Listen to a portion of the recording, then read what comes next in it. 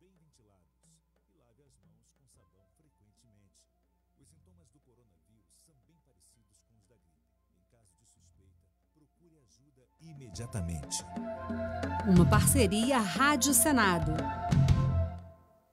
Coronavírus. O que você precisa saber e fazer. O coronavírus é um vírus que causa doença similar a uma gripe. Ele é transmitido pela saliva, espirro, tosse ou aperto de mãos. Os sintomas são febre, tosse ou dificuldade de respirar. Para se prevenir, lave as mãos com água e sabão ou álcool em gel. Cubra nariz e boca ao espirrar ou tossir. Mantenha os ambientes ventilados e evite aglomerações se estiver doente. Caso apresente os sintomas, ligue 136 ou procure uma unidade de saúde. Ministério da Saúde, Governo Federal.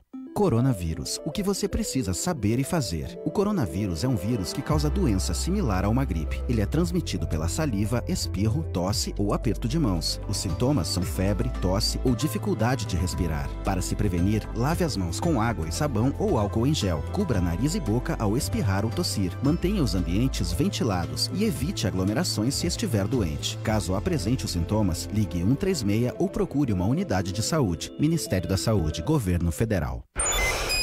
Se você tiver febre, tosse ou dificuldade para respirar, deverá procurar uma unidade de saúde mais próxima. Para proteger sua saúde, siga medidas simples. Lave as mãos frequentemente com água e sabão. Caso não seja possível a lavagem, utilize álcool em gel de forma preventiva. Não esqueça, cubra o nariz e a boca com o braço ou lenço descartável ao tossir ou espirrar. Evite aglomerações em ambientes fechados. Não compartilhe objetos de uso pessoal, tais como talheres, pratos, copos ou garrafas. Uma campanha Emissoras de Rádio do Brasil. Coronavírus. Informe-se para ficar bem. Alguns cuidados básicos podem evitar a propagação do coronavírus. Proteja a boca ao tossir ou espirrar. Não compartilhe objetos pessoais. Mantenha os ambientes bem ventilados. E lave as mãos com sabão frequentemente. Os sintomas do coronavírus são bem parecidos com os da gripe. Em caso de suspeita, procure ajuda imediatamente. Uma parceria Rádio Senado.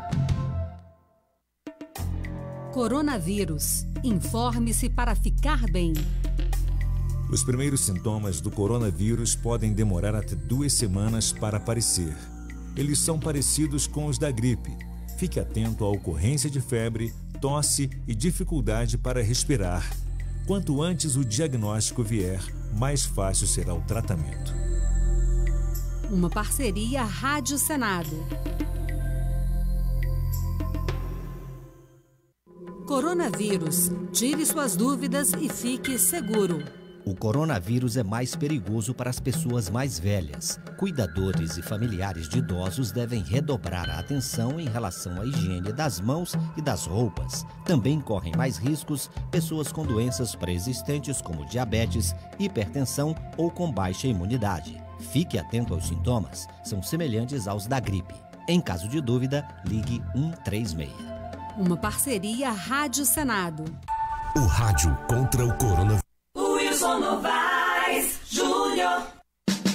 Acesse o blog da informação. Não deixe que o assunto se encerre. Credibilidade é aqui. jequierreporter.com.br Cultura e entretenimento. Anote o endereço, não erre. Meu blog preferido é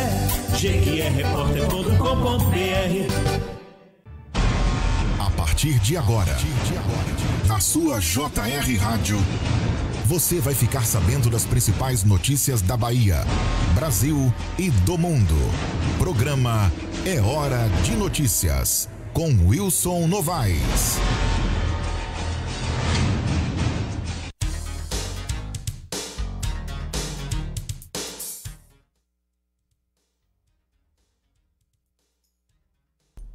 Muito bom dia para você agora sintonizado no programa Hora de Notícias do blog GQE Repórter.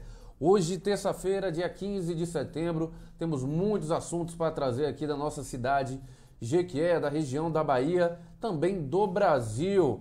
O destaque de hoje acabou sendo a notícia agora de manhã de uma operação da Polícia Federal aqui na nossa cidade, mas em instantes vamos comentar mais sobre isso, tem imagens, já tem notícias, já saiu na televisão e a gente vai tentar entender o que está acontecendo aqui nessa operação denominada La Guilda de Papel, em homenagem à Casa de Papel. Para quem já viu Netflix aí, é uma série muito famosa, mas a gente vai comentar isso e muito mais aqui no Hora de Notícias. Um bom dia para você, jornalista Wilson Novaes, nessa terça-feira em Jequié.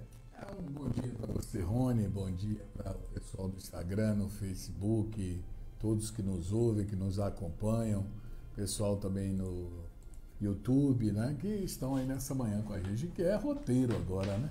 E que passou de que é e municípios da região passaram a ser roteiro de Polícia Federal, a partir de denúncias e que são apuradas e que a população fica no aguardo né, para saber realmente qual vai ser o desfecho e o que vai acontecer no desenrolar. Porque, diga-se de antemão, alguns têm, não lembram, mas desde 2007 que vem sendo em todas as gestões realizadas ações da Polícia Federal deflagradas aqui no município de Iqué. E muita gente continua, continua colocando dessa maneira. Oh, e dá em quê? Se a gente vê as pessoas voltarem, continuarem na sua vida. Mas é um assunto para daqui a pouquinho, porque nós vamos agora conferir os números né, da Covid-19 em Jiquié. Ontem nós tivemos dois óbitos aqui na cidade, duas mulheres, e nós vamos conferir com você, Rony. Sem dúvida, Wilson Novaes. Vou, vou soltar na tela aqui. Queria que você desse uma olhada só no seu microfone para ver se está tudo ok com ele. É, mas já vou soltar. Tudo na, ok. Tá tudo ok, né? É, que eu achei meio baixo aqui, mas eu vou, vou aumentar. Aumente aí um pouquinho. É. Acho que ele ficou distante ali, talvez seja isso. Não. Mas eu vou colocar na tela aqui. Acho o boletim de ontem. Dois novos óbitos e cinco novos casos nas últimas 24 horas em Jequié. O número total de casos confirmados são 5.427 sendo que 4.838 pessoas já se recuperaram, fazendo o total de casos ativos 456. E ontem tivemos dois óbitos, como o Wilson citou, e agora já são 133 óbitos em, em Jequié em decorrência da Covid-19. A taxa de ocupação UTI adulto está em 56,4%, sendo que 11 leitos são ocupados por residentes de Jequié e outros 11 leitos por pessoas de outros municípios.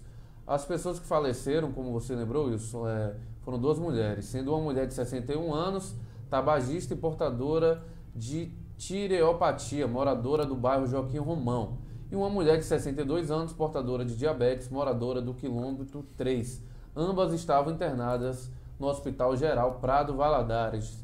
Joaquim Romão que, segundo aqueles dados divulgados pela prefeitura, junto ao Jiquezinho, são os bairros com maiores incidências de casos da Covid-19, digamos assim, muitos casos nesses dois bairros. É, vamos conferir aí o microfone. Na uhum. Bahia, nas últimas 24 horas, registradas 718 casos.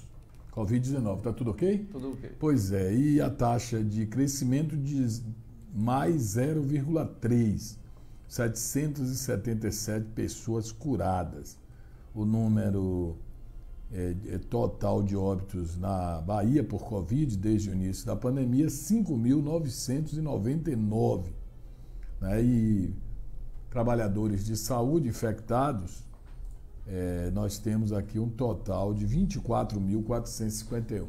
É, você falava aí no, nos dados né, da, do boletim, a gente se baseia nos dados oficiais.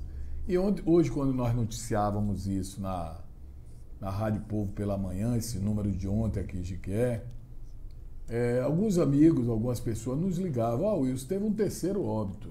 Mas é porque deve entrar no boletim de hoje, que foi a minha amiga Célia.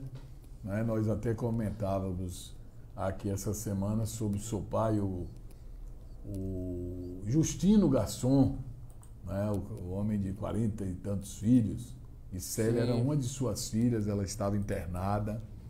Ah, tomamos conhecimento que sua situação era muito grave e ela ontem foi a óbito. A gente até lamenta, manda nosso sentimento aí para a família do Justino, todos os seus irmãos, os irmãos, mãe, pai, todas essas pessoas, né? E muito especial o Justino, que é um amigo aqui de muitos anos. Então gosto de, gostaria de fazer esse registro. E com esse número foram três ontem, mas vale para nós né, o boletim oficial, que o boletim oficial constam apenas, ou seja, dois, e que hoje deve esse terceiro caso ser também notificado, né, já ser incluído nos números de hoje. né, esse terceiro caso aqui na cidade de Jequié. Exatamente, Wilson Novaes. A gente coloca na tela aqui o painel gráfico divulgado pela Prefeitura que cobriu até o dia 12 de setembro. Então a gente tem os números, como foi citado, o, o bairro Jequiézinho e o Joaquim Romão com maior quantidade de casos, o Jequiézinho com 1.478 casos, o Joaquim Romão com 1.115 e lá atrás vem o Mandacaru com 362. Então tem uma diferença grande. É, na categoria profissional, como era esperado, os profissionais de saúde são os mais afetados pela doença. 462 pessoas, que também não, não, não é só médico e enfermeiro, mas também o pessoal que trabalha na portaria, é, motoristas, o pessoal da Copa, todo mundo que trabalha ali no hospital. 462 pessoas. E para profissionais de segurança pública, 75 pessoas foram infectadas com a Covid-19. E a gente vem, vem acompanhando aqui o cúmulo de casos novos e confirmados no mês. A gente está tendo essa diminuição agora em setembro. O mês de julho foi o, o com números mais altos, teve, só confirmar aqui, 2.342 casos confirmados em julho.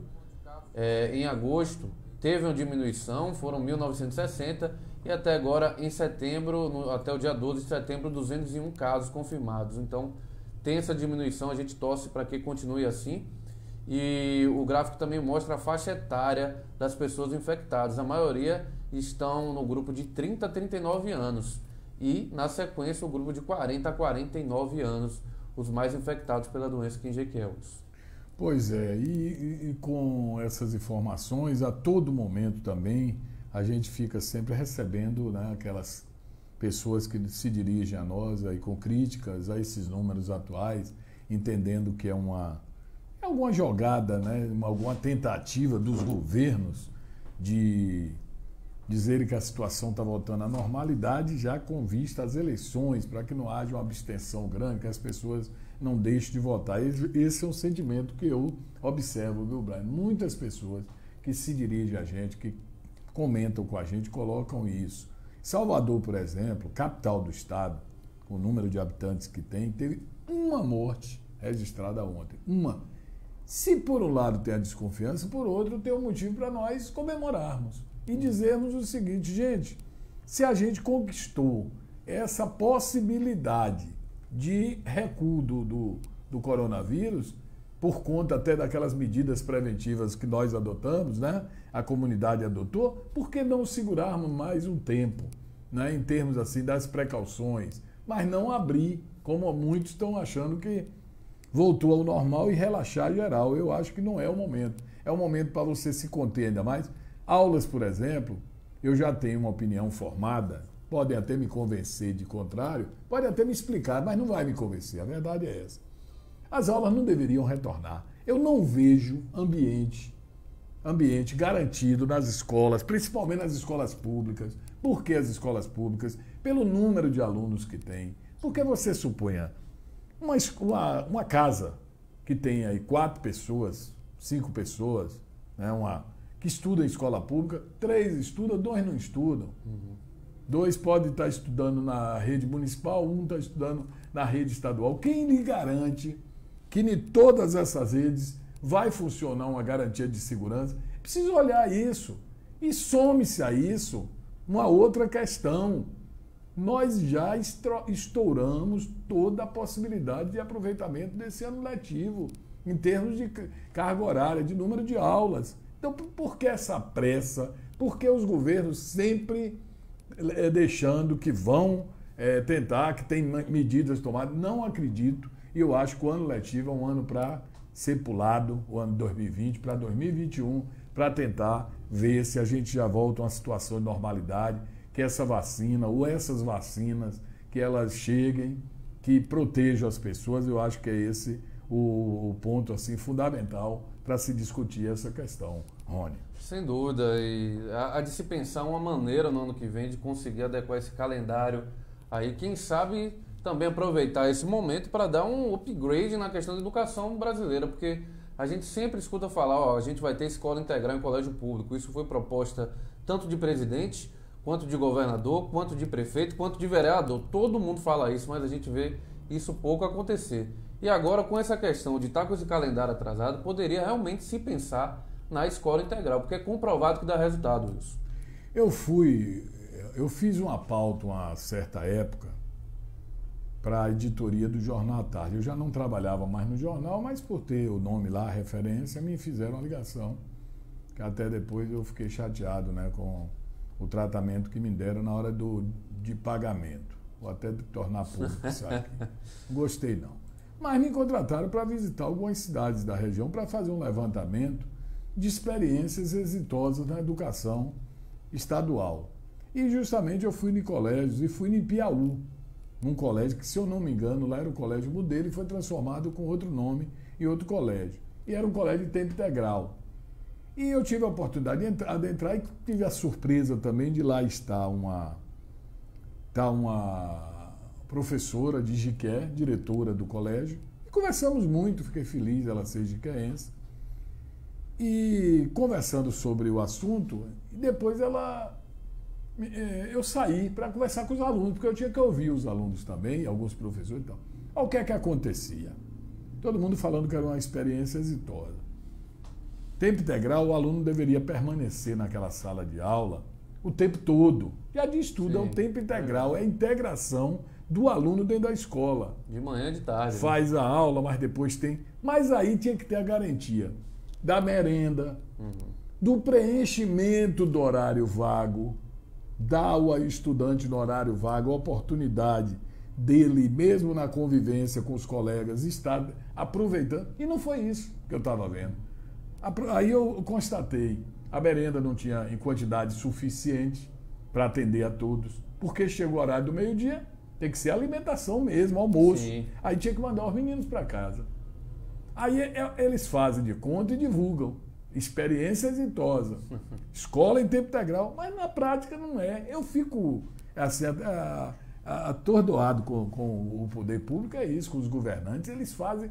A propaganda, é, é, Rony, é maior do que o, o, o caso em si que está é, beneficiando. É como, por exemplo, mudando aqui de um, de um polo a outro, o cara faz a publicidade aí intensa, tá asfaltando ruas da cidade, cria um, um, uma sensação na cidade que está asfaltando ruas da cidade. Eu fui, você foi lá na é, Zupério Miranda, eu fui na Siqueira Campos. Sim.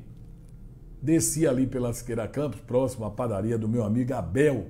Fiquei feliz, ó, pavimentação de excelente qualidade. Segui mais em frente amigos, para eu isso, é, rapaz, pede aí essa prefeitura. Eu falei, primeiro, essa obra não é da prefeitura, não. A prefeitura ficou fora. É, mas tudo bem. Rapaz, 250 metros para atender ali, ó, aquela rua ali, que mora gente também. Aí começou todo mundo a reclamar. É um tiro no pé. Hum. Bem que o benefício vem na hora certa, e, e na hora certa né, eles deixam para vir as vésperas da política, mas deixa muita gente chateado. Eu acho que desagrada mais pessoas Sim. do que as que agradam. Porque não existe rua que seja viela. A maioria, né? Uhum. Que começa e termina, termina, tem um ponto de. Você interliga a outra, a outra não tem benefício nenhum. Uhum. É o que aconteceu lá na, na Exupério Miranda, que está acontecendo na Siqueira Canto. Tem mais pessoas chateadas, talvez aí o político, né? o vereador da área vai dizer assim, mas eu quero conquistar os que ficaram satisfeitos. Ele só conta o número dos satisfeitos. Mas os insatisfeitos são muito mais, né? Claro, claro. Eu acho que, que valeria a pena do, dos políticos. Lógico que a gente fica feliz com esses avanços, mas também de citar, olha, mas tem essas duas aqui do lado, a gente poderia tentar ver algum outro político fazer Uma interligação com é, a prefeitura, tudo dúvida. organizado. Olha, nós vamos aqui entrar nessa via principal com os Isso. recursos da emenda. Mas vocês vêm logo e fazem a, a via secundária, que uhum. vai dar acesso a essas outras. Então nunca é assim. É. Nem no paralelo, é. que é coisa da, da idade da pedra, que a gente ainda usa muito e mal usado, mal utilizado, porque ficam serviços que faz, desfaz, faz, desfaz, é. faz, desfaz, desfaz, e a gente fica sempre convivendo com isso. E o asfalto, que é mais rápido, é mais preciso. Pô, a gente aqui na frente, rapaz, teve uma escavação enorme aqui da base. A gente sofreu por muitos dias aqui, né? Cheiro Mal cheiro, odor, esgoto e tal. Se fosse calçar, se fosse uma pavimentação, ia calçar, encher de terra para evitar que os motor, eh, motor, mototaxistas passassem, motociclistas, o carro. Fez num dia, no outro, a pista já estava livre para passar. É a rapidez, ganha-se com isso. Então, mas eles ainda continuam, né? Esses governantes, infelizmente, eles continuam trabalhando ainda como há 30 e tantos. Eu passei uns vídeos para você que a gente está preparando aí para reproduzir. Sim. No ano de 1981. Atentem bem. 1981. O Rony vai comigo aqui reproduzir esses vídeos para você ter uma ideia. A gente comemorava calçamento nas ruas de Jiqué no governo de Valdo Sampaio, calçando o Viveiro, aquela área toda, Sobocó, Exupério Miranda, Feirinha do Lago, o, o, bairro São José, que era na terra essas áreas e passou a ser calçado. O povo ficou numa felicidade. Por quê? Porque nós ainda temos no centro de Jiqué ruas que ainda estão sem o tratamento básico. Sim. Né? Ainda estão na terra. É verdade, é verdade. E, a gente vê isso, eu vou trazer imagens depois ao lado do Exupério Miranda, Wilson, porque é impressionante. Quando a gente tem uma pista ali logo ao lado de todas as ruas que você sobe ou desce, tem rua que é, é terra, é, terra. É, é, misturado com. Uma, é difícil, eu acho que carro de lixo não sobe ali. É, inclusive eu já vi algum, alguns garis que eles sobem sem o carro para fazer a, a, coleta.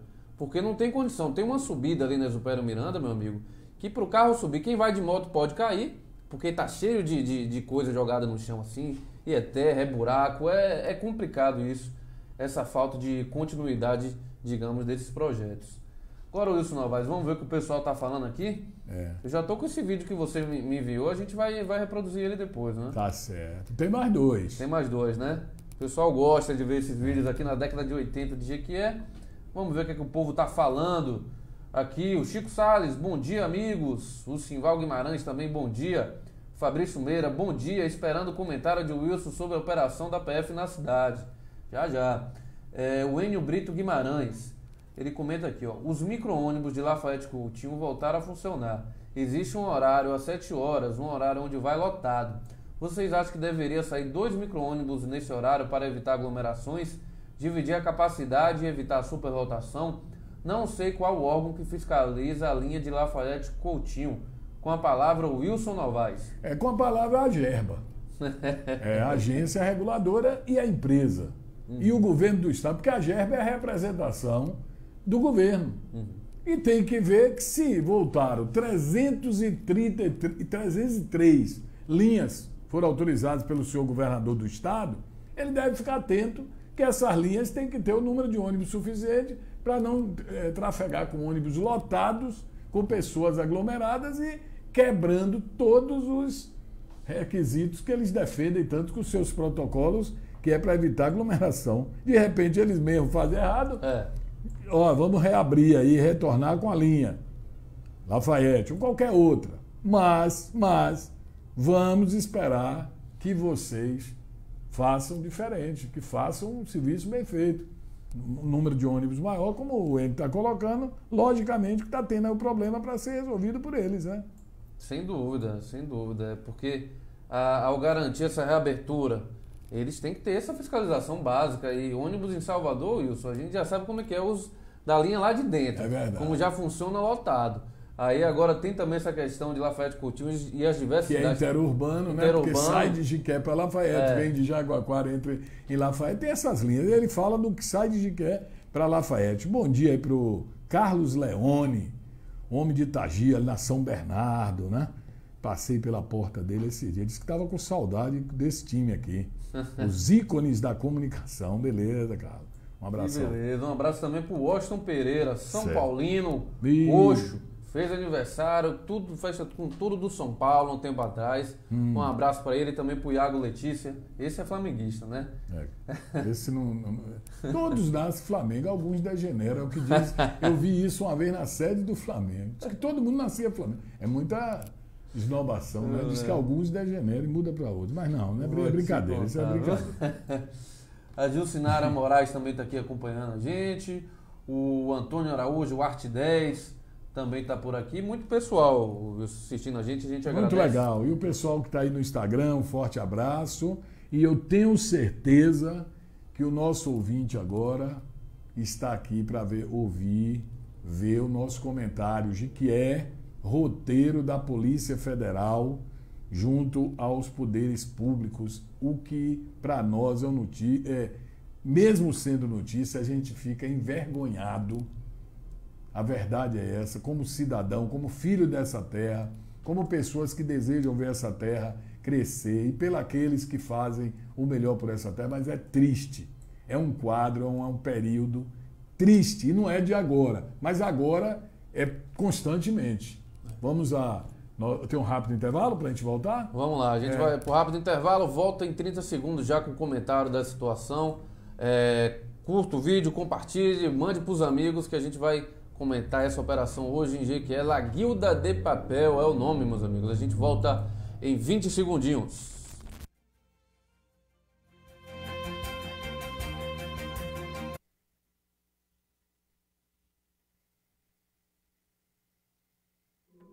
Coronavírus. Informe-se para ficar bem. Alguns cuidados básicos podem evitar a propagação do coronavírus. Proteja a boca ao tossir ou espirrar. Não compartilhe objetos pessoais. Mantenha os ambientes bem ventilados. E lave as mãos com sabão frequentemente. Os sintomas do coronavírus são bem parecidos com os da gripe. Em caso de suspeita, procure ajuda imediatamente. Uma parceria Rádio Senado. Isso aí, estamos de volta no programa Hora de Notícias. Eu tenho para todo mundo tomar uma água, que agora a gente vai tratar desse assunto, o assunto do dia, né? Para quem acordou de manhã, já estava na televisão, o GQE sendo notícia em toda a Bahia, também no Brasil, porque está sendo compartilhado por sites de grande porte. Polícia Federal gostou de Jequié, né, Wilson? Direto a gente vê eles passeando por aqui. O que é está acontecendo em Jequié para ter virado o roteiro da PF? Pois é, é triste né, para qualquer município, desde aqueles pequenos que também já foram visitados, até os municípios de um porte médio como o nosso. A gente não pode nunca estar aqui para, nessa terça-feira, dia 15 de setembro, estar comemorando. É bem verdade que é fruto né, daquilo que fazem. É evidente que tudo isso é decorrência de coisas erradas eu me lembro, eu volto né, ao ano de 2007 ou foi 2006, quando, ao chegar na prefeitura, e naquela época eu estava na prefeitura, foi a gestão do professor Reinaldo, e quando lá chegando, me deparei com a presença de policiais federais na porta da prefeitura. É uma sensação horrível. Eu, eu com está ficando vulgar mas é uma sensação horrível para quem tem vergonha na cara. Porque você chegar e ver que a Polícia Federal retirando computadores e retirando do local e levando e documentos e tal, algo de errado paira no ar. É bem verdade que alguns depois ainda esnobam disso, dizem que nada teve a ver. A gente está vendo aí o escândalo no Rio de Janeiro, uma coisa deprimente hoje ouvir as defesas desses políticos lá no Rio e aqui tem acontecido dessa natureza, da mesma forma. Já aconteceu esse ano, dentro dessa gestão, algumas vezes. E hoje nós nos deparamos, eu estava no, no rádio, quando é, me deparei não é, com pessoas que estavam né, me ligando e dando conhecimento de que o número de carros grande da Polícia Federal plotados estavam em pontos específicos aqui da cidade de Qué, em vários pontos da cidade. E dentre essas, nós temos aí fotografias, podem ser reproduzidas, vistas, por quem não viu ainda, já está aí proliferando nas redes sociais. Aí tem um, esse carro, esse Siena branco que você mostrava aí, ele chegou com o policial federal e o outro no outro carro. Não sei se o Siena é apreendido ou se é um carro usado, porque eles às vezes usam também carros não plotados. A paisana? É, a paisana. Eles chegam na cidade, então não sei bem, mas esses dois carros estão no fórum de, no fórum de Jiqué. E desde as primeiras horas de hoje, essa equipe da Polícia Federal lotada na superintendência de Vitória da Conquista, logicamente com apoio de outros policiais, cumpre em Jiqué 10 mandados de busca e apreensão e 5 de medidas cautelares diversas de prisão em Jiqué, expedidas pelo Tribunal Regional Federal da Primeira Região. Como você disse, intitulada Guilda de Papel, essa operação. Alusão à Casa de Papel, aquele, aquela série, né? É um filme né? na televisão. É uma série na Netflix. É, que o pessoal tem assistido. O que é que essa operação está combatendo? Crimes de fraude à licitação, aí as fotografias na presença dos carros da PF, fraude à licitação, fraude a direitos trabalhistas e desvio de verbas públicas na prefeitura de Jequié. No curso dessas investigações, o prefeito Sérgio da Gameleira deve ainda hoje, pelo que nos foi informado, ser afastado do cargo pelo período mínimo de 60 dias. Nós já estamos a poucos dias do fim do governo. É o, né, uma situação complicada. A Câmara buscou, mas encontrou dificuldade quando pediu o afastamento definitivo do prefeito porque o prefeito contou com votos que impediram os dois terços. É uma outra história. Mas vamos ao caso de hoje. Segundo o que foi até agora informado pela Polícia Federal, as investigações elas tiveram início em 2019. Vocês lembram bem, foi amplamente noticiado. Esse blog noticiou várias vezes que os vereadores à época da bancada da minoria e hoje é maioria, porque vereadores que na época era do prefeito viveram no governo, participando diretamente, integraram a base da minoria posteriormente e a transformou em maioria. Mas na época ainda, com os que iniciaram o trabalho da minoria, eles foram inúmeras vezes à sede da Polícia Federal, à, à sede do Tribunal Regional Federal, à Controladoria Geral da União, que tem suas unidades lá em, em Vitória da Conquista e registrou as denúncias. Eu comentei algumas vezes. Essas denúncias, elas retardam, demoram, mas elas vão dar em pano para manga, para a gestão, porque eles se basearam em fatos apurados. Muita gente criticou, muita gente, ah, não, tem, não dá em nada, porque as outras vezes que aqui tiver, já teve no governo de Reinaldo, como a gente falou, teve no governo Luiz Amaral, teve no governo de Tânia, teve no governo atual de Sérgio, nunca deu em nada. Mas sempre dá em alguma coisa. Talvez não dá naquela medida que você deseja. Que muita gente deseja ver pulseira de prata de todo mundo. Muitos vão lá, resolvem, depois vê que não tem nada a ver, retornam. E continuam aí como se nada acontecesse. Uns até debocham. Eu vi até um deboche recente numa sessão da Câmara da ação da Polícia Federal. Debochou mesmo. É como se dissesse, fez, não deu, não deu em nada, levantou algo que não constava, não tem nada a ver. Pois é. Então, esses integrantes da bancada da minoria, na época, protocolaram denúncias de que a cooperativa, que tem sede em Feira de Santana, Ativa Cop, que surgiu em Jiquié, para substituir uma outra que tinha problemas e que também já teve momentos de ter que ir à conquista que foi a terceira visão, que a Ativacop teria vencido uma licitação para o fornecimento da mão de obra terceirizada. A prefeitura colocou essa empresa para terceirizar serviços. No entanto, a Ativa Cop seria uma empresa intermediadora de mão de obra transvestida, ou travestida, melhor dizendo, de cooperativa. Qual é a ideia? Porque a cooperativa você não é funcionário. A cooperativa é você um cooperado. Ela faz uma renda e você rateia a renda da cooperativa. A Ativa Cop, enquanto empresa terceirizada, ela teria que contratar você, que eu estou falando aqui com o Rony Breiner, contratar seu serviço, registrar e pagar. Eles entraram como cooperativa para fugir dos encargos sociais, para demitir a hora que quisesse, para pagar um valor, receber o valor X pelo funcionário e pagar o valor Y e fugir e fugir de questões trabalhistas, dentre outros aspectos.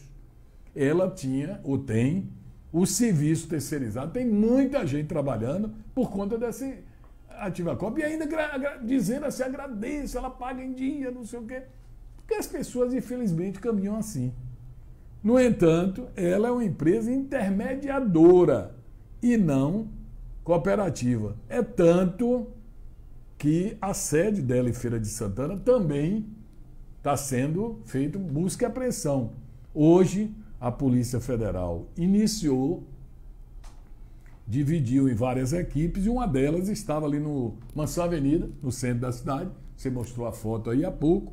E lá na, na empresa lá na, no prédio da, da, Avenida Rio Branco, ali no centro de Jiqué, funciona a gerência da Ativa Cop em Jiqué.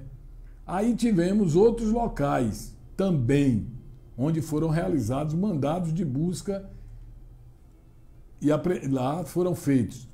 Onde tem como endereço a casa do prefeito, lá no condomínio Pindorama, a empresa de seus familiares, aí eu vou fazer a ressalva, por que a empresa dos seus familiares, que é a Gameleira, lá no Distrito Industrial?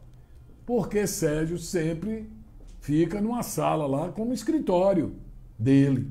E entende dentro do levantamento que pode ali ter um computador, ter algum documento que possa comprometer ou trazer, né, acrescentar dados. Por isso que a gente faz até essa ressalva que a empresa não é pela empresa, é pelo escritório que ele tem lá, numa das salas, onde ele, como é, filho lá da família, é né, uma empresa, eu fico a imaginar quanto você tem de luta ao longo da vida para você fazer o nome de uma empresa.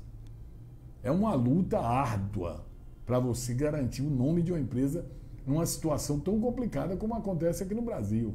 Muitas comércios não levam 10 anos, né? Diz que o prazo médio é 10 anos para acabar. E essa empresa que nós estamos citando aí, que inclusive dá referência de sobrenome político ao prefeito, é uma empresa que constituiu graças à luta dos seus fundadores.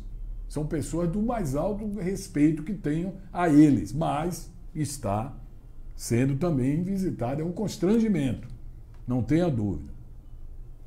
Também foi é, flagrada a presença da Polícia Federal no prédio sede da Prefeitura, na residência de servidores que atuam no setor de licitações e na residência da atual secretária municipal de Educação, que era uma assessora de cargo dentro da secretaria, e com o afastamento do pessoal do PDT, saiu o, o secretário anterior, o Paulo Paulo Andrade e entrou essa secretária, Ludmila, né, parece, Carvalho, acho que é ela, também está sendo dentro da, dessa, desses desdobramentos aí de, de, da apuração. Constam ainda das informações iniciais, que depois eles passam o resumo geral do que foi feito, mas consta ainda dessas informações que a cooperativa Ativa Cop estaria cobrando do município valores bastante superiores aos que são pagos aos prestadores de serviço. Que nós dissemos é cobrar por um servidor X, pagar X e ficar com Y. Aí tem o. No bojo geral tem os interesses, né? Vai parte para lá ou parte para cá. Mas vamos lá. Inclusive verbas fictícias. Fictícias é o que não acontece. Além de estar cobrando pela prestação de serviços de pessoas é triste, é, é vergonhoso de pessoas que tenham integrado os quadros da cooperativa. Ou seja, o cara é funcionário da cooperativa, é o secretário, é o Zé, e ganha, a prefeitura paga ele pela cooperativa. Imagine você, amigo, você está entendendo a extensão. A cooperativa precisa do seu pessoal, né? Para trabalhar. Ela, ela foi contratada. Os funcionários dela, cooperativa, sai da folha da prefeitura. Nós é que pagamos para eles. É, rapaz. Uma análise feita, né? Uma análise feita de um pregão presencial de número 016-2018 apurou que o município de Jiqué celebrou com essa cooperativa um contrato de 29 milhões e 200 em 2019, 18, para o fornecimento desses, eh, desses profissionais para todas as secretarias do município. Muitas pessoas a essa altura nos ouvindo e que estão acompanhando aí as muitas informações que estão sendo colocadas, vão dizer assim, isso vai dar em quê? Eu não sei. A gente noticia, a gente acompanha. Qual o desdobramento, quem vai preso, quem não vai, quem é ouvido, quem, quem não é. A gente não acompanha, até porque a gente fica sempre curioso a saber o que é que aconteceu com aquelas outras pessoas e o que vai acontecer agora, porque parece que depois. Que tem, você sabe que tem Polícia Federal que já foi em vários lugares e constatou coisas que não tem como negar. E os caras estão aí. Não em Jiqué só, não, em vários municípios. Os caras estão aí como se nada acontecesse. Eles dizem assim, não, é mentira, não. O advogado vai, não, foi levantado de forma equivocada. E, e fica por isso. Então as pessoas já não têm nem confiança de que tenham um desfecho que seja. Primeiro que eles não devolvem o que, o que tiram. Né? A gente não vê falar que prendeu. Ah, é, Quando é político, perdeu os direitos, né? É, por algum tempo, depois retorna, ganha o direito a isso, Lava Jato teve aí, o pessoal fica questionando, ficha suja, ganhou o direito de ser candidato, ficha suja. Cara, a Polícia Federal investiga o sujeito. E o cara depois da ficha limpa vai ser candidato agora nas eleições. Tem nada a ver. Parece que é tudo, né? É la casa de papel. No meu, na minha interpretação, vira papel, né? Mas está aí mais esse escândalo, é escândalo. A Bahia está comentando, o Brasil está comentando. Mais uma vez, a Prefeitura de Jequié não dá mais para suportar. Não dá mais para suportar. Agora não é mais uma questão política, não, até porque diz que tem vereadores também que serão. é, que estão Visitados? sendo são visitados nesse processo, eles tinham envolvimento, eles vão ser ouvidos, e que eles não vão ter como impedir, se tiver do prefeito, se afastado. E se ele for afastado, praticamente é o período crucial do mandato, porque. E aí vai se. Né? Não sei qual foi, quais são os acertos que tenham. Então entendam agora, porque eu disse, olha, não vai ter apoio, o prefeito se absteve de dar apoio e tal, então, porque tudo isso estava previsto. Tudo isso que está acontecendo, confesso a vocês, era previsível que iria acontecer. Qual o tempo? Ah, vai ser depois que ele deixar a prefeitura. Vai ser agora no curso do mandato. Se forem dois meses, eu não sei, eu estou falando, porque foi o que me passaram. Se forem dois meses de afastamento, nós estamos em setembro. Vamos lá. Hoje é 15. 15 de outubro, 15 de novembro. Aí é eleição, amigo. Voltar depois da eleição, só para limpar a gaveta, alguma coisa que tiver, e tchau, e encerrei. E que Jiqué não lembre com nenhuma saudade do meu período de mandato. Infelizmente, uma pessoa que teve tudo, teve tudo na mão, a começar pela confiança do povo de Jiqué, de fazer uma boa gestão. Infelizmente, melancolicamente, chega agora ao final com mais esse escândalo aqui na nossa cidade, a presença da Polícia Federal. Mas nós ainda vamos né, aguardar que a polícia se posiciona, o, a controladoria, eles informam oficialmente tudo que foi levantado e a gente vai acompanhar durante o dia de hoje essa operação aqui na cidade, Guilda de Papel, aqui na cidade de Jequié. Perfeito, Wilson Novaes. Guilda de papel, meus amigos. A gente lê as notícias aqui, os valores, acaba ficando abismado, Wilson, porque a Polícia Federal, apesar dos políticos, sempre quando tem operação da Polícia Federal, eles falam que é um atentado à democracia, que isso não pode, é contra as leis, como se a Só Polícia Federal. Se, se É. valer do recurso público e levar para si é que não é, É, não, atentado aí- à democracia. E atentado ajuda a minha casa. É mais ou menos. Vou falar aí numa linguagem bem popular. La mas- Casa de Papel, É, da né? Casa de Papel. Ajuda os meninos lá de casa. É. Mas os números realmente chamam a atenção e, e, e não é só essa investigação, Wilson. Tem outras investigações Claro. também. A, a questão da improbidade e prejuízo de 5 milhões aos cofres de Jequié, que não estaria repassando o dinheiro do, do INSS aos aposentados. Tem todas umas É. investigações por baixo. É Terrível. muito dinheiro. Assombra, porque a gente vê é, Jequié na situação que está E aí todo prefeito que entra não tem dinheiro. Aí de repente você vê 29 milhões envolvidos É. no esquema. Como assim não tem dinheiro, meus Não amigos? tem dinheiro. Agora, serve de alento e serve de lição. Uhum. Analisem o que está por vir. Sérgio pode estar saindo hoje e pode não voltar mais. Janeiro está ali, ó. É um passo adiante. Você pode estar somente tirando de uma mão, né? da- vou usar aí a máxima do Mário Viana, o árbitro dos árbitros, comentava quando falava do impedimento, da figura A para a figura B e dá na mesma coisa. Porque tem gente que se acostuma com esse negócio. Já não tem medo mais. Né? Se usa das prerrogativas e tal, e não tem medo. É caso comum. Tem gente que não tem muita vergonha na cara, Não, não. tem, né? não tem. Você citou do Rio de Janeiro, É. mesmo com operações da PF acontecendo, é, eles já têm indícios que eles continuaram fazendo outros tramóias, mesmo é. sendo, estando no alvo da investigação. Júnior Gonçalves está mandando um bom dia pra gente. Ele diz assim: grande repórter, muito competente na sua fala. Obrigado, meu amigo. Obrigado pelo seu reconhecimento. O Dunga da Bahia. Dunga. Bom dia, tô ligado aqui no. De Jiqué, do Alto da Pampulha. Olha. Ah, a Pampulha, sabe onde é que fica? Eu não sei onde é não. A Pampulha é em Belo Horizonte, mas aqui Jiqué é do lado do sol nascente, do outro lado, né? Beleza. Meu Deus, essa novela novamente apareci, pa- parecendo Karate Kid. Tira prefeito, bota prefeito. O Rogério está falando aqui, o Rogério Ramos.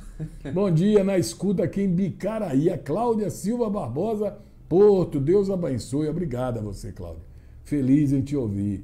Rogério diz aqui, bom dia, amigos. Queria ver o vídeo ilustrativo que o Wilson falou, que ia mostrar de como vai ficar a nova ponte. Já mostrou? Você tá com ele aí? Eu mandei para você. Você mandou o, o- a planta, não foi É, isso? mas ela em, em Ela- 3D. ela se movimenta, ela, é? ela movimenta, Ah. rapaz, em 3D. Porque eu recebi o PDF aqui. É, eu mandei, eu mandei. É ela mesma, é aquela mesmo. Pode ver. Vergonha na cara, amigo, é pra pouco. É verdade, Jeane Santos. É verdade. Eu vou lhe dizer, não tenho nada contra a classe política, respeito todos os políticos. Eu acho que o político é um cidadão como eu, como você, como qualquer outro, que entra no campo político e não é como a gente entra nas nossas profissões, né? Agora é preciso ter, acima de tudo, vergonha na cara. Mas muitos tinha um produto que a gente usava muito quando era menino. Eu mesmo usava muito, não sei se o pessoal ainda usa. Óleo de peroba, que é para ilustrar, ó, madeira. E tem os caras que passam óleo de peroba, a cara fica lustrada e não estão nem aí. As coisas estão acontecendo, eles estão negando. E depois dessa de dizer que não fez, não fez, não fez, ninguém. É. É presidente da república, é governador, é prefeito, é deputado. O povo entra nessas coisas e sai como se nada tivesse acontecendo. Né? Mas vamos deixar a ponte para amanhã, né? Exatamente, a gente deixa para amanhã. Tem É mais o, é o tema de amanhã vai ser a ponte. Vai ser a ponte, É. vai ser a ponte. O Zé Luiz Del Sarto comenta aqui, Jequié no cenário nacional, só que infelizmente com operação da Polícia Federal. Até Que coisa triste, né? Que coisa triste. Que coisa triste.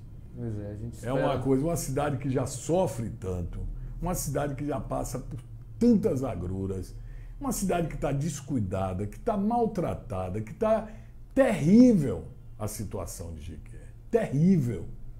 Aqui é preciso, ó, se, se política fosse uma coisa assim, tomada a cabo mesmo, como algo que você faz em sua casa, era para o cara fazer assim, ó. Vamos reunir todos que têm boa vontade com o Jequié. Todos. Não quero nem saber de partido. Todos. Estamos levando aqui, ó, seu governador, seus deputados, a proposta de Jiqué é essa. Nós vamos for- formar, eleger um, mas esse um que se eleger vai representar todos que querem o bem de Jiqué. E vamos, o senhor vai ter, senhores deputados, senhor, vamos dar uma virada de mesa para Jiqué.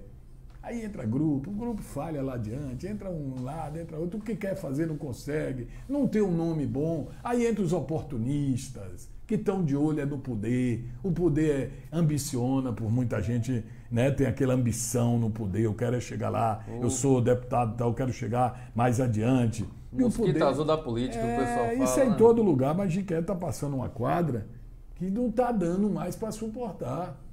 Não é? A turma jovem. E eu fico pensando, nós que temos os filhos, os netos, aqueles que estão agora pensando no. Pensem nessa cidade com outro olhar. Jiqué não pode sofrer tanto, não, gente. Jequié não pode sofrer tanto. Não é, dona Monique Alves Albuquerque? Bom dia para você. Exatamente. A Monique Alves mandando bom dia. A Rome Macedo também bom dia. Um abraço pro Rogério Rodrigues, tá lá em Anagé acompanhando a gente. Gente boa demais, Rogério. Jornalista também, formou comigo. Oi. É, o, A- Apacap Oficial mandando um bom dia pra gente, falando que gosta muito do programa. O Giovanni Zero tá aqui acompanhando a gente. Ele fala: a operação tá focada na empresa terceirizada que não paga 13 terceiro, férias, dentre vários direitos trabalhistas as ao funcionário. pessoas, e as pessoas ainda muito agradecidas porque tem arrumando essa. Ainda tem isso. Estão pagando O- menos que salário mínimo ó, também, Cada viu, vereador só era mandar um bilhete e contratava. Aí Uhum. o cara já se sentia agradecido, rapaz. Sim. Agradecido por isso. Uhum. É brincadeira. E a operação descobriu que teve gente recebendo menos que salário mínimo e além disso, tinha gente que estava recebendo que nem existia, era e famoso é- fantasma. o E além dos funcionários da empresa também. Que loucura. É, é terrível. Bora esperar o desfecho disso aí, que é coisa horrorosa. Mas vamos aqui a uma informação que está desagradando muita gente. Ontem foi anunciado que o INSS abriria aí 600 agências, 700 em todo o país. Só que teve um problema sério. O pessoal que estava com perícia agendada, os peritos, os médicos, entenderam pela sua Associação Nacional de Peritos Médicos Federais que as agências não estavam preparadas. Agora veja, eles decidem abrir e não discutem esse detalhe. Eles foram ver, não tinha equipamentos EPIs, não tinham espaço necessário para se proteger. Afinal de contas, médico contamina, né? Claro. Pessoas contaminam. Você vê, o, o presidente do, do STF, Uhum. Luiz Fux. Fux, assumiu, fez aquela, aquela belíssimo pronunciamento, depois foi reunir a família para jantar. Pegou o Covid, a Covid. Imagine, rapaz, quem foi que foi na casa desse homem? Somente pessoas que devem se cuidar, que não, não deve ser qualquer um, né? Qualquer um que eu digo, nós somos qualquer um. Porque esses caras têm outro. Pois é, pegou a Covid. Imagine o médico que atende qualquer um, você num banco, você no supermercado, você. Eu não falo nem na bandalha, a bandalheira que está aí. Eu falo nas coisas que você tem necessidade de ir. Tem necessidade de ir. Fazer o teste de vida no INSS, muita gente reclamando É. disso. Os peritos não querem voltar. Isso foi no Brasil. Eles só voltam se derem a ele as garantias. É. Com isso, se perde mais dias ainda. Não deveria anunciar depois de tudo, Tudo certo? resolvido, né? No Brasil é um jogo de empurra, meus É, amigos. rapaz, uma coisa terrível. Para a gente concluir, vamos falar rapidinho de futebol. Vitória ontem entrou em campo, né, num jogo que não foi dos melhores, mas empatou. Uhum. Né, o Vitória, quando faz o seu empate de alguma coisa, empatou justamente com o Juventude, lá no campo do Juventude. Um frio, um frio que o pessoal estava passando por lá. E o Paraná venceu, né? Com a vitória, o Paraná assumiu. Aí venceu 2 a 0 para a equipe do CRB. Foi CRB? Foi, né? CSA. Sim, sim, sim. É, que venceu. Então, tá aí o Campeonato Brasileiro. E hoje começa a Libertadores. Quem é que joga hoje? Libertadores da América, a gente vai. Deixa eu pegar o calendário aqui. Libertadores de Casa Nova, vai estar nas transmissões da SBT, meu amigo. É. O Homem do Baú vai estar transmitindo. É, vamos ver, Libertadores aqui, o que, que tem? Quinta-feira tem Flamengo contra Independente Del Valle. Mas hoje tem jogo. É, quarta-feira Palmeiras e, e Bolívar. Deixa eu ver o de terça. Hoje tem Jorge Wisterman e Atlético Paranaense. É. A partir das 7h15. São Paulo joga na quinta-feira contra o River Plate. O Internacional na quarta contra o América de Cali. E o Santos joga hoje também. Santos e Olímpia a partir das 21h30. Esses são os clubes brasileiros que estão na, na Libertadores. Eu vou fazer aqui para encerrar o programa, eu vou falar rápido sobre o nono simpósio sobre a doença de Alzheimer, que vai tratar esse ano de 21 e 22 de setembro, o cuidado em família na pandemia, na pandemia da Covid-19. Mandar um abraço aí para a professora Edith Lago, que coordena esse simpósio, né, o nono, e a gente vai tentar fazer uma live com eles aqui. Boa. Discutir esse tema. Eu já estou conversando aqui com a Bárbara para que ela entre com a gente aqui possivelmente amanhã ela conversando com a gente. Mas é, vamos fazer aqui uma, uma, reflexão da seguinte maneira. Eu deixo para o, o ouvinte aí que está do outro lado, o espectador, nosso seguidor. Duas situações. Primeiro, eu vou noticiar que amanhã o Eduardo Pazuello vai deixar de ser interino e vai ser efetivado como ministro da Saúde. decisão já tomada, o cara está no cargo. É general diz, ah, ele não é da área, mas ele vem tanto tempo. Desde quando o Tati saiu. Ele é bom que ele nem aparece, é, né? É, ele, não, ele não faz, não quer ser candidato a nada. É. Ele está lá no cargo desde maio e agora vai ser efetivado. O que é que vai mudar? Praticamente nada. Um ministério desse tem N profissionais técnicos da área. Sim. Todos têm. Agora depende do bom senso do, do, do, gestor, que ele é o homem de logística, né? Se vai dar a condição, ele é tranquilo. Vamos lá, ele vai assumir. Não vai. Vão chiar, mas é ele, não tem outro general de exército Eduardo Pazuello. Mas vamos ao que eu estava aqui colocando, né?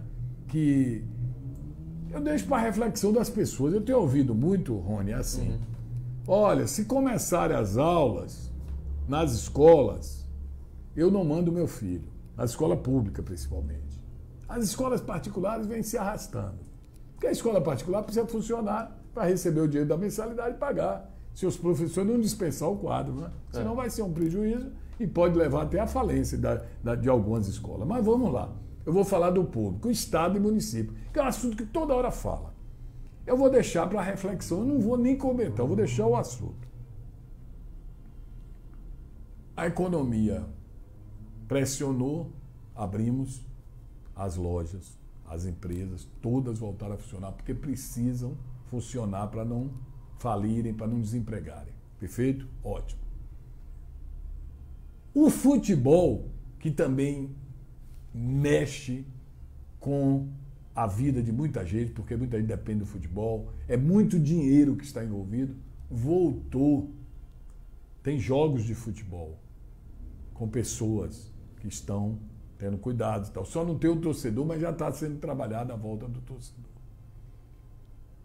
As praias voltaram, abriram. A praia é o lugar mais democrático do mundo. As pessoas foram agora no feriado, estão indo agora em demasia. As festas estão acontecendo e vão abrindo. O transporte que ficou parado, 303 municípios já têm a circulação do transporte. Todos esses lugares são passíveis de que aconteçam casos de contaminação, que graças a Deus vem baixando. As eleições com o rigor da lei, com os protocolos, vão acontecer. E a pergunta que eu deixo com a interrogação enorme: por que só a escola pública não teve o cuidado devido para dizer assim, nós vamos abrir tempo de recuperarmos o calendário? Porque não houve interesse de nenhuma das partes. Me perdoe aqueles que não aceitam que a gente diga isso. Não houve interesse a escola ficou em terceiro ou quarto plano. Ah, porque criança ninguém controla. Essa é a justificativa. Não tem plano. Professores podem contaminar, funcionários podem contaminar. Então, mas essas pessoas têm uma vida normal em qualquer lugar. Nas praias estavam cheias de criança, nos locais estão cheios de crianças, nas praças as crianças estão indo. E não estão tendo esse controle que diz terão. É porque não houve interesse. O sucateamento da educação pública é uma questão que vem de ano a ano, passando de ano a ano, de governo a governo. Mas você faça uma reflexão sobre esse assunto, que eu sei que tem muita gente que discorda do que eu estou colocando. Ah, porque não tem segurança para o professor. Veja se está todo mundo tendo os cuidados que deveriam ter.